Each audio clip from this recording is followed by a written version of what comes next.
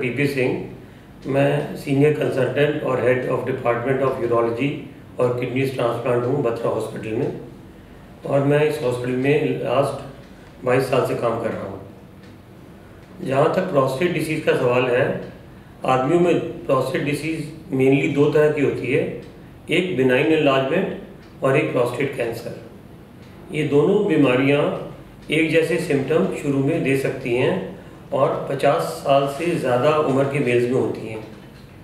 जहाँ तक benign enlargement का सवाल है, वो 50 साल की उम्र से स्टार्ट होकर 90 साल की उम्र तक किसी भी मेल में हो सकता है और ये फैमिलीज़ में भी रन कर सकता है और इसके मेन जो लक्षण या सिम्टम होते हैं यूरिन में रुकावट यूरिन का बार बार आना यूरिन में इन्फेक्शन यूरिन में ब्लड आना एडवांस स्टेजेस में यूरिन का रुक जाना यूरिनरी ट्रैक्ट में स्टोन बनना और किडनी फेल हो जाना है। बिनाइन एनलार्जमेंट के डायग्नोज के लिए मेनली हम तीन टेस्ट करते हैं। पहला टेस्ट है क्लिनिकल एग्जामिनेशन जिसमें रेक्टल एग्जामिनेशन दूसरा टेस्ट एक अल्ट्रासाउंड और तीसरा एक पीएसए टेस्ट मैंडेटरी है, जो कि कैंसर के पेशेंट्स को डायग्नोज करने के लिए किया जाता है। इस बीमारी का जो बिनाइन एनलार्जमेंट है, उसका मेन इलाज दूरबीन द्वारा होता है और दूरबीन से मेनली प्रोस्टेट का जो पार्ट एनलार्ज होता है, उसको हटा दिया जाता है। ये दूरबीन यूरिन के रास्ते से डालकर हमारे पास तरह तरह के एनर्जी मेथड्स हैं, जिससे हम प्रोस्टेट को रिमूव कर सकते हैं। समझने वाली बात यह है कि बिनाइन एनलार्जमेंट में हम पूरा प्रोस्टेट नहीं निकालते हैं। सिर्फ़ प्रोस्टेट का वो भाग जो पेशाब के रस्ते में रुकावट कर रहा है उसको रिमूव किया जाता है। बिनाइन एनलार्जमेंट में काटने के लिए जो वेरियस एनर्जी सोर्सेज हम यूज़ करते हैं, वो या तो इलेक्ट्रिक सोर्स हो सकता है, जिसे हम ट्यू कहते हैं, या लेज़र हो सकता है तरह तरह के लेज़र अवेलेबल हैं बट मेनली हॉलमियम लेज़र और के लेज़र इसके लिए सक्सेसफुल है। यहाँ बता देना चाहूँगा कि सारे जो प्रोस्टेट एनलार्जमेंट के पेशेंट हैं, उनमें ऑपरेशन की ज़रूरत नहीं पड़ती है। हमारी क्लिनिकल प्रैक्टिस में करीब 90 परसेंट पेशेंट्स को मेडिकल मैनेजमेंट रखा जाता है। इनमें से कुछ ही पेशेंट होते हैं जो 10 परसेंट से 20 परसेंट हैं जिनको ऑपरेशन की ज़रूरत पड़ती है। बट मेडिकल मैनेजमेंट स्टार्ट करने का मतलब है वो पेशेंट हमारे पास कंटिन्यूस टाइमली फॉलो पे रहते हैं और अगर कोई फेलियर होता है मेडिकल ट्रीटमेंट का तो उन्हें सर्जिकल ट्रीटमेंट एडवाइस किया जाता है। जहाँ तक प्रोस्टेट कैंसर का सवाल है प्रोस्टेट कैंसर का incidence is on the rise in our country for reasons of environmental pollution our population is aging we have got more number of patients in elderly age group और कुछ cases में ये prostate cancer families में भी run करता है। जहाँ तक इसके सिम्टम्स का सवाल है, जैसे मैंने पहले आपको बताया कि प्रोस्टेट कैंसर के सिम्टम्स शुरू में कुछ भी नहीं होते।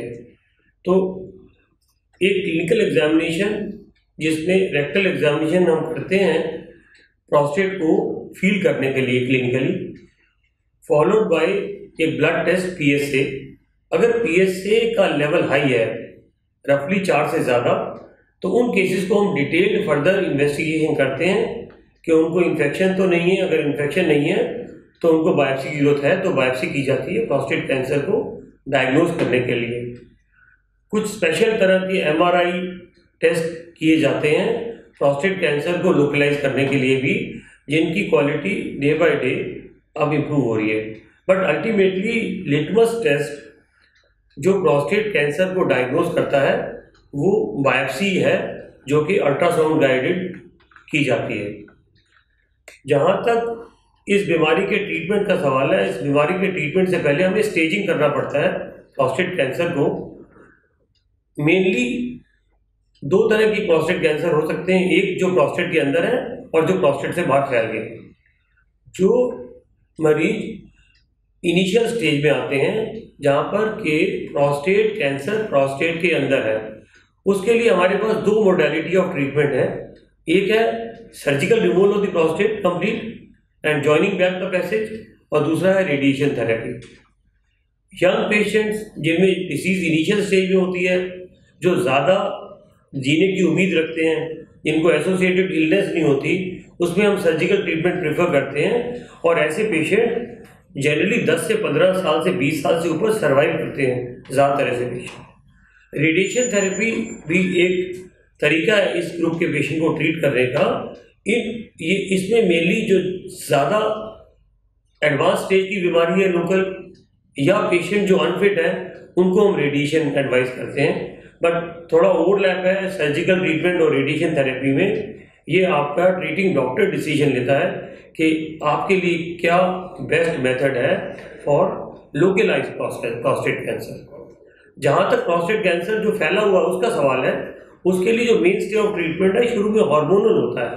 इसका एम होता है कि जो मेल हार्मोन है बॉडी के अंदर, उसको हम शरीर से हटा दें।